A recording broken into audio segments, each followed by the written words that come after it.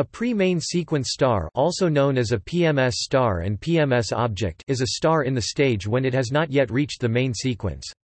Earlier in its life, the object is a protostar that grows by acquiring mass from its surrounding envelope of interstellar dust and gas.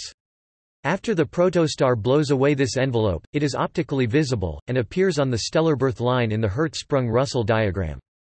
At this point, the star has acquired nearly all of its mass but has not yet started hydrogen burning i.e. nuclear fusion of hydrogen.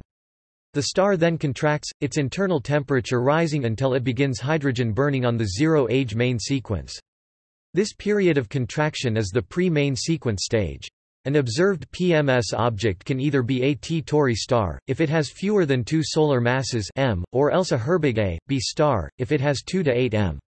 Yet more massive stars have no pre-main sequence stage because they contract too quickly as protostars. By the time they become visible, the hydrogen in their centers is already fusing and they are main sequence objects. The energy source of PMS objects is gravitational contraction, as opposed to hydrogen burning in main sequence stars. In the Hertzsprung-Russell diagram, pre-main sequence stars with more than 0.5 m first move vertically downward along Hayashi tracks, then leftward and horizontally along Henyey tracks, until they finally halt at the main sequence.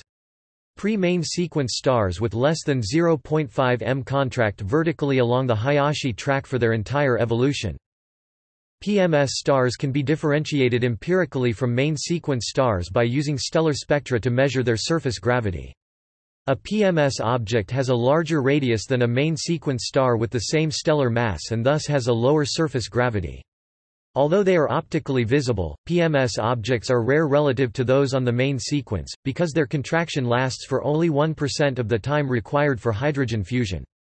During the early portion of the PMS stage, most stars have circumstellar disks, which are the sites of planet formation.